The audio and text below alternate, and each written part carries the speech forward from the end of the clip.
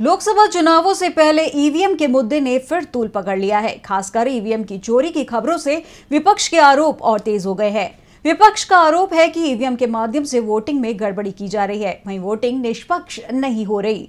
और अब एक बार फिर कांग्रेस नेता दिग्विजय सिंह ने चुनाव आयोग से ईवीएम को लेकर कुछ बातें उठाई हैं, जिससे चुनाव आयोग सवालों के घेरे में आ गया है। तो क्या सवाल उठाया है? कांग्रेस ने चुनाव आयोग को लेकर देखते हैं इस रिपोर्ट में। देश की सियासत में इस वक्त ईवीएम एक गर्म मुद्दा बना हुआ है। विपक्ष लंबे समय से ईवीएम पर सवाल उठा रहा है। विपक्ष का आरोप है कि ईवीएम के माध्यम से वोटों में हेरा फेरी हो रही है।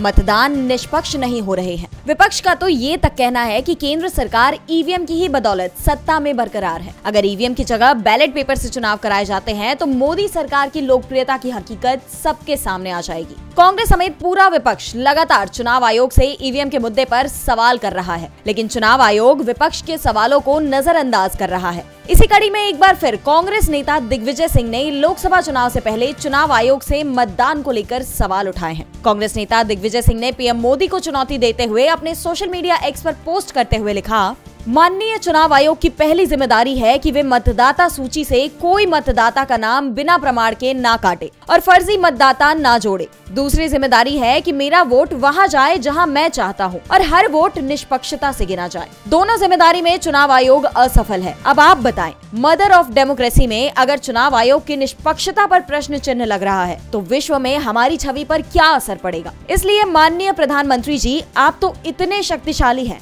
लोकप्रिय हैं।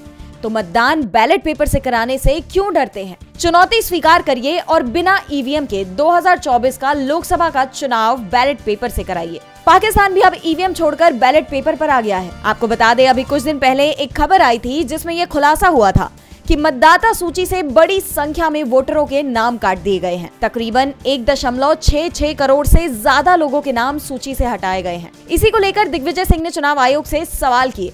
साथ ही पीएम मोदी को चुनौती भी दी है कि 2024 का लोकसभा चुनाव ईवीएम की जगह बैलेट पेपर से कराएँ। हालाँकि ये कोई पहला मौका नहीं है जब दिग्विजय सिंह ने ईवीएम को लेकर सवाल उठाए हों।